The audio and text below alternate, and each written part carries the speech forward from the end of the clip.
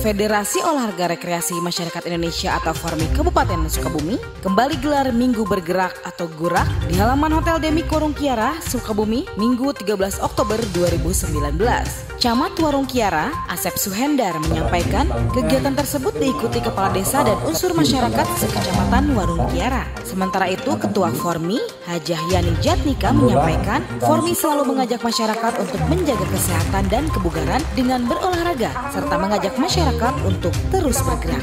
Hajah Yani Jatnika mengatakan kegiatan Gurak ini merupakan program kerja 2019 sehingga secara rutin Formi menyelenggarakan kegiatan tersebut. Di tempat yang sama Bupati Sukabumi menyampaikan bahwa kegiatan Formi untuk mengajak masyarakat supaya sehat dan senada dengan semboyan SDM sehat Indonesia unggul. Haji Marwan Hamami juga menambahkan kegiatan ini untuk memotivasi dan harus mengajak masyarakat di lingkungan sekitar untuk berpola hidup sehat. Dalam kesempatan tersebut dilakukan pemberian cendramata dari Nutribut kepada Bupati Sukabumi Haji Marwan Hamami dan kepada Camat Warung Kiara dilanjutkan dengan senam bersama.